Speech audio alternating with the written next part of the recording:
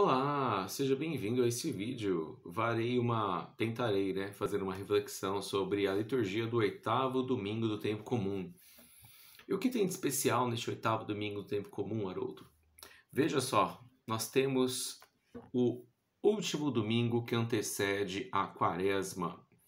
Este oitavo domingo do tempo comum é o último domingo do tempo comum que vem antes da quaresma. É claro que o domingo, que o tempo comum em si tem 34 domingos, mas há uma interrupção agora neste oitavo domingo e na quarta-feira será a celebração da quarta-feira de cinzas, que inicia o tempo da quaresma na Igreja Católica. E o que é a quaresma? É um tempo de conversão, um tempo de mudança de mentalidade, uma metanoia, como se diz os gregos, diziam os gregos, mudança de mentalidade, pensar de modo diferente, agir de modo diferente, falar de modo diferente. Tudo isso nos é ensinado pela igreja na quaresma.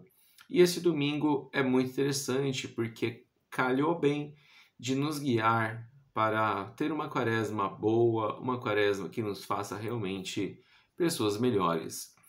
Olha que interessante. A primeira leitura, aliás, todos os textos, né, estão falando da necessidade de evoluir como ser humano, né? De ascender, de subir, de melhorar, principalmente começando com a sua língua, com a sua boca, com o que você fala.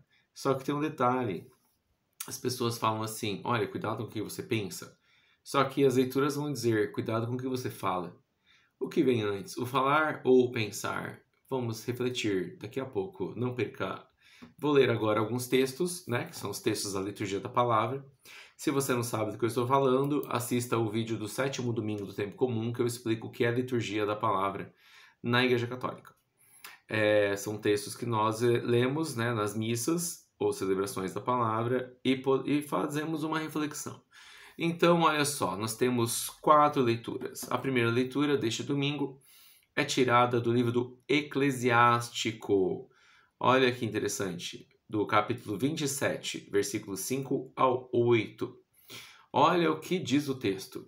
Quando a gente sacode a peneira, ficam nela só os refugos. Ou seja, quando você sacode a peneira, você deve ter usado uma peneira na sua vida, né? Só fica o que é maior, o que é fininho passa por ela, né? Ou seja, você faz uma, um filtro, né?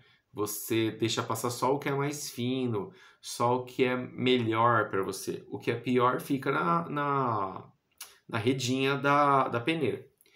Por exemplo, você vai fazer um suco de maracujá. Você peneira, o, quando você bate, né, peneira o suco na peneira e fica ali todas as sementinhas que não foram bem trituradas e tal. E é isso que nós fazemos com a nossa vida, ou pelo menos é isso que o Eclesiástico, o livro do Eclesiástico, que é chamado Ben Sirácida, né? Livro de Ben Sirá em hebraico, nos propõe. Vamos peneirar o que acontece na nossa vida. Você consegue peneirar? Olha só, o início da quaresma aí já, hein? Já começa aí. Se você conseguir peneirar, já já tá bom. Assim os defeitos de um homem aparecem no seu falar. Como forno prova os vasos do oleiro, ou seja, o cara faz lá os vasos é, de barro, né, de, de, de argila, e coloca no forno para ele ficar durinho. E o fogo prova. Essa prova significa o quê? Mostra se a argila era boa ou não. Os que não, a argila que não é boa, ela trinca. Então, será que o que a gente faz trinca? É de má qualidade? A nossa vida é de má qualidade? Assim o homem é provado em sua conversa o fruto revela como foi cultivada a árvore. Assim a palavra mostra o coração do homem. Nós aqui da cidade não sabemos cultivar árvores nem plantas, mas o pessoal do interior do campo sabe muito bem. Dependendo da forma como você planta uma árvore, a fruta não vai ser muito boa. Mesmo que a árvore seja, por exemplo, uma laranjeira, ela vai dar laranja, obviamente, Porém, às vezes a laranja não vai ser tão boa dependendo das condições com as quais aquela árvore foi plantada. Por isso tem que tomar muito cuidado quando se planta, porque a colheita vai ser o reflexo daquilo que você plantou. Então é isso que ele está dizendo aqui. O fruto da árvore é, revela como a árvore foi cultivada. Como nós estamos cultivando as árvores das nossas relações pessoais, das nossas ações.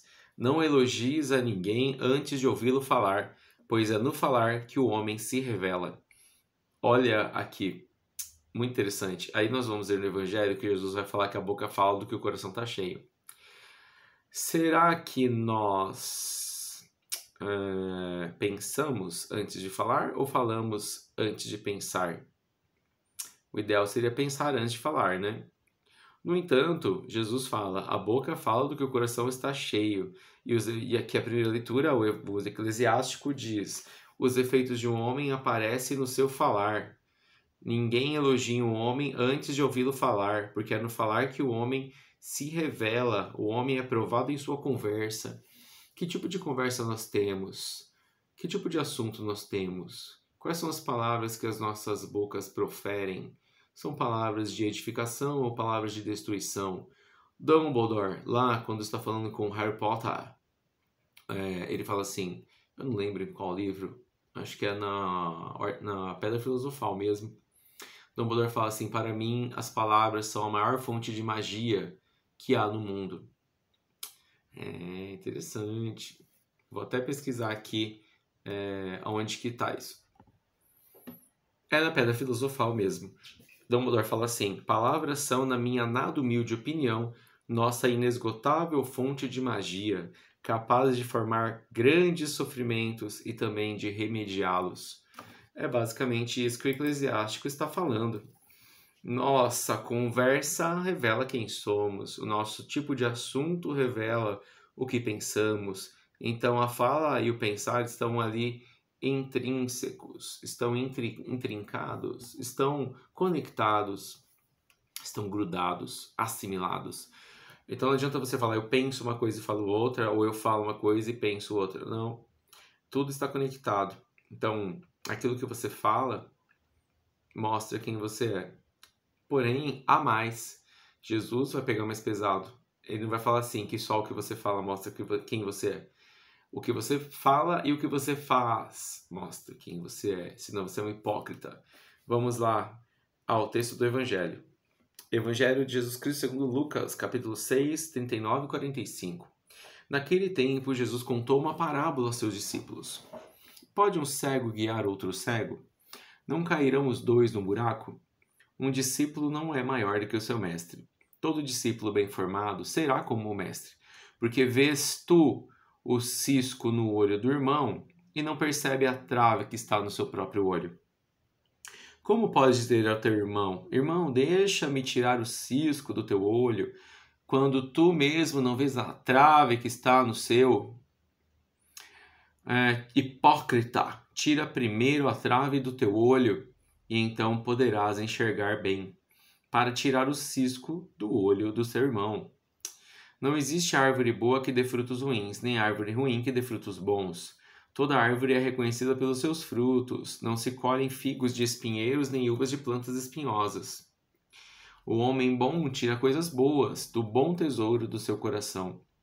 Mas o homem mau tira coisas maus do mau tesouro. Coisas maus é ótimo. Coisas más do mau tesouro que tem no seu coração, pois da sua boca fala do que o coração está cheio. Esse texto faz parte do discurso da planície. Já falei disso no, na, no vídeo anterior, que é do sétimo domingo tempo comum. Procure lá no meu canal, se você quiser, claro, né? É, mas o que, que é o discurso da planície? Jesus subiu na montanha, falou com Deus e voltou, e ele está na planície. Planície é a parte plana, obviamente, né? Por isso que é planície.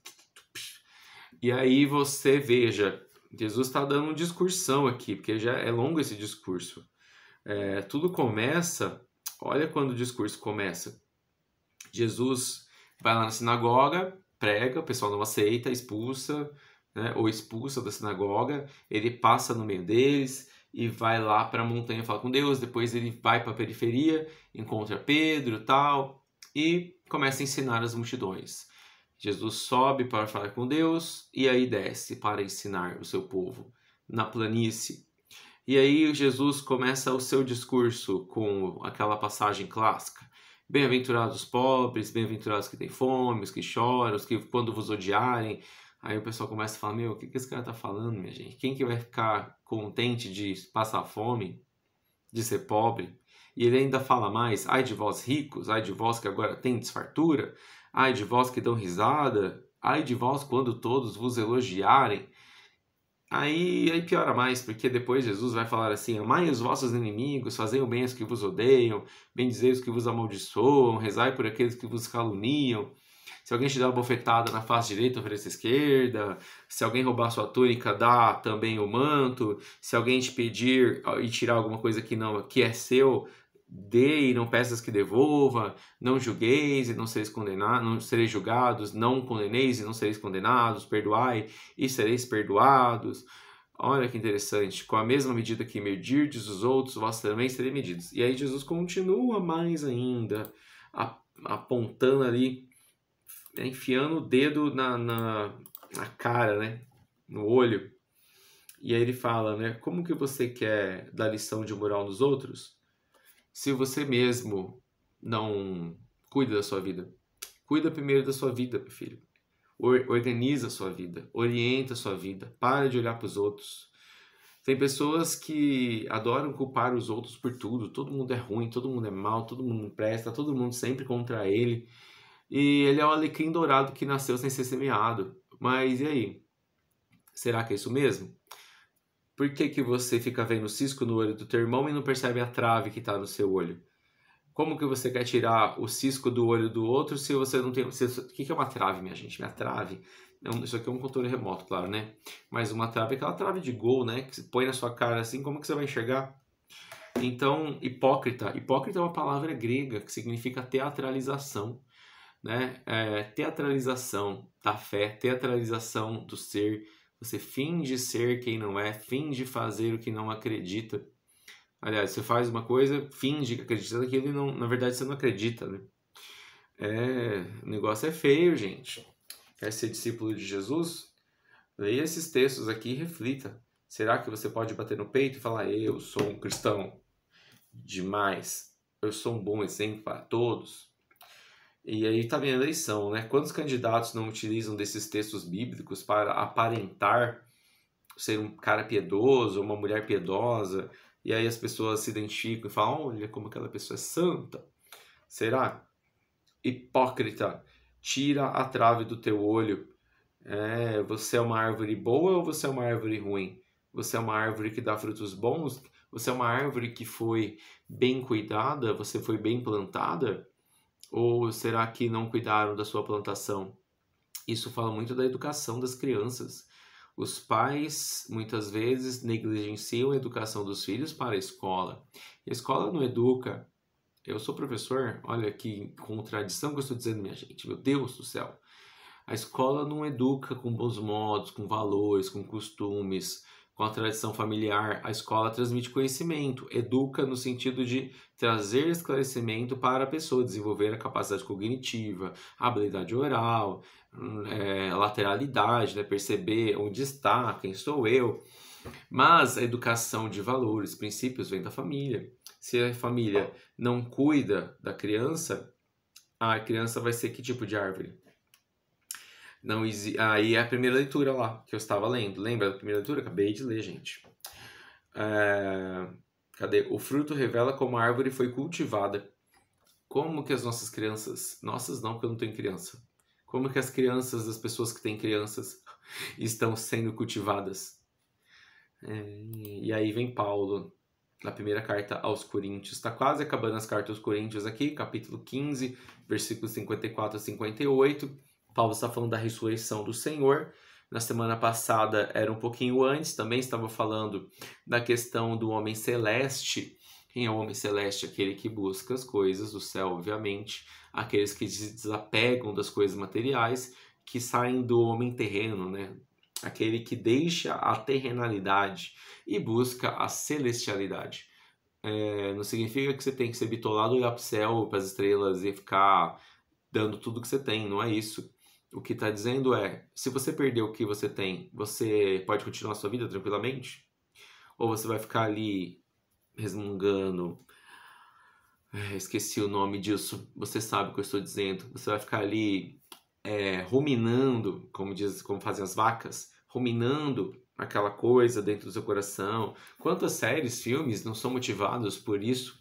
A pessoa acontece alguma coisa com a pessoa, a pessoa fica ruminando aquilo, não passa e ela vai criar toda uma trama, né? uma vingança, será maligna. E aí ela vai atrás e no fim quem é que sofre mais? É, hoje, por exemplo, estava na missa, aí tinha uma moça com uma bolsa né, normal na, no banco dela. Aí na hora da comunhão ela levantou e foi sem a bolsa. Aí ela olhou para a bolsa e voltou para pegar a bolsa, colocou a bolsa no, no pescoço e aí sim foi para a fila da comunhão. E ela estava a dois passos do banco, na verdade. Ela, a comunhão estava muito próxima dela, o ministro que estava dando a comunhão. E aí, é, claro, né, eu estou cometendo um grave erro que quer julgar a pessoa. Ah, você estava na missa julgando uma pessoa. Sim, isso é horrível, gente. Não faça isso. Mas, já que eu fiz, estou falando para vocês. Olha só, é, fiquei pensando, olha como a pessoa é apegada. Ah, mas pode ter alguma coisa importante ali? Claro que tem coisa importante no teu celular, tem documento, tem, enfim, coisas pessoais. Tudo, todo mundo tem coisa importante. Mas será que se nós morrermos ali, a gente vai em paz, tranquilo? Ou a gente é apegado ao que temos? sem o que temos, a gente fica desestabilizado. Quantas pessoas saem de casa, às vezes você esquece o celular e aí dá aquela, aquele mini infarto. E a pessoa tem que voltar desesperada para pegar o celular, porque alguém pode ter, não sei o que. Aí ela abre o celular, des, é, des, ela desbloqueia a tela e não tem nada. Igual a Dona Hermínia lá no filme Minha Mãe, uma peça. Acho que o 2 ou 3, não, é o 3. É, que ela tá gravando o programa, aí ela quer atender o celular, ele não deixa. E aí depois ela fala, vai ter um monte de ligação nessa desgraça, não sei o quê. E depois ela pega o celular não tem nenhuma. Ela fala, ah, mas nenhuma também é dose, né? Porque a gente às vezes se dá muita importância. Será que nós somos tão importantes assim? Que precisamos estar conectados 24 horas, 7 dias por semana, estar disponíveis, estar ali vendo o que as pessoas estão fazendo, desesperadamente, clamando pela atenção de alguém. Precisa disso, gente?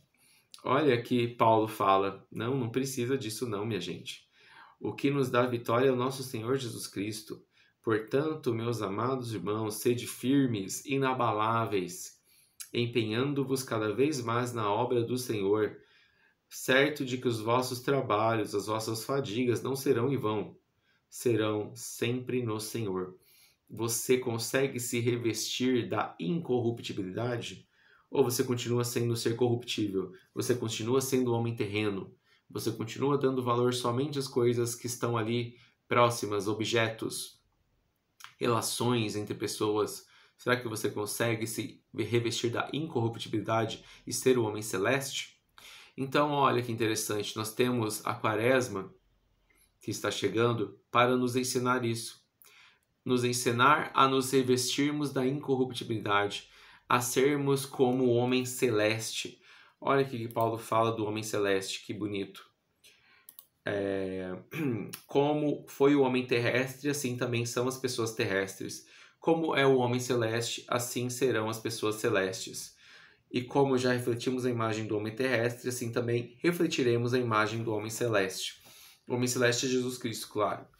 Mas nós refletimos a imagem e semelhança de Deus, Jesus Cristo, que é homem celeste ou refletimos a imagem somente de Adão, o homem terrestre, aquele que pecou porque não quis desapegar, porque quis ser Deus, porque quis estar no lugar de Deus? Será que nós queremos estar no lugar de Deus? Será que nós queremos ocupar o lugar de Deus, sermos o nosso próprio Deus, a nossa vida? Leia aqui os textos se você achar interessante. Procure no Google é, Liturgia da Palavra e aí você vai ter vários sites. Recomendo que você entre no site da CNBB, vai abrir lá o oitavo domingo, tempo comum. A primeira leitura é do Eclesiástico, a segunda é do Paulo aos Coríntios, capítulo 15, a primeira carta aos Coríntios. E o Evangelho é de Lucas, capítulo 6, 39 a 45.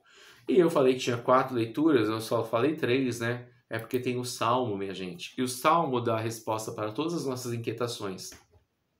O Salmo é a síntese de todas as coisas que a gente leu aqui da primeira leitura, que fala que o homem é provado no seu falar, nunca elogia um homem sem ouvi-lo falar.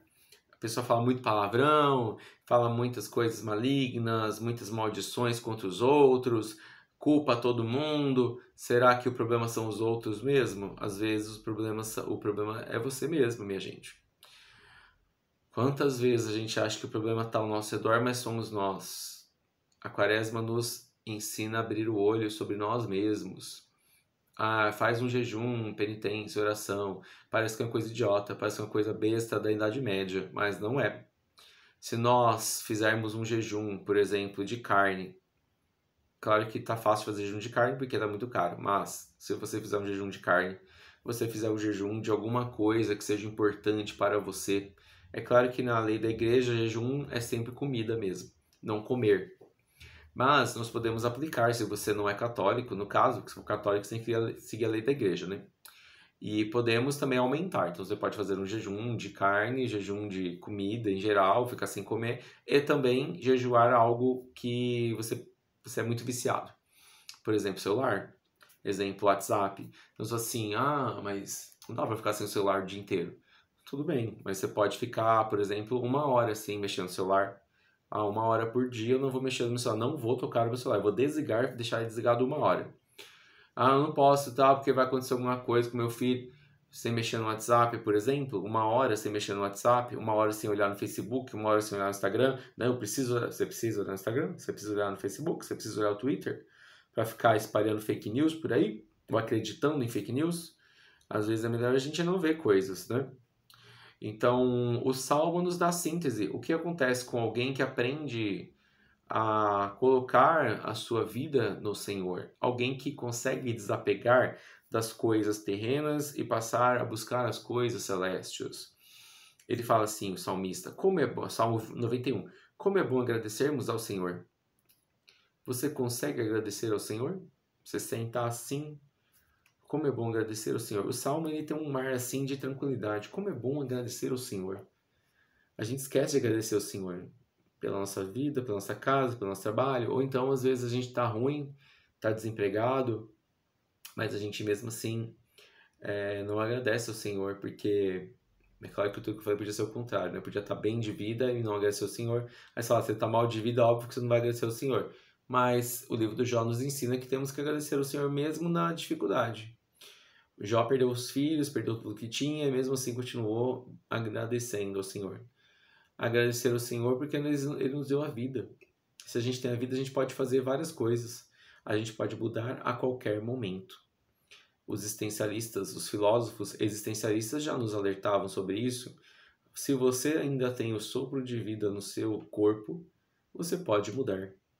Ah, mas é muito difícil, tem estruturas capitalistas, comunistas e não sei o que que nos nos direciona, nos aprisiona, tudo bem, mas comece de você. Ah, minha cidade não tem coleta seletiva de lixo, é uma bosta. Meu prefeito não faz nada, não tem interesses financeiros para que haja a coleta seletiva e reciclagem na cidade. Tudo bem.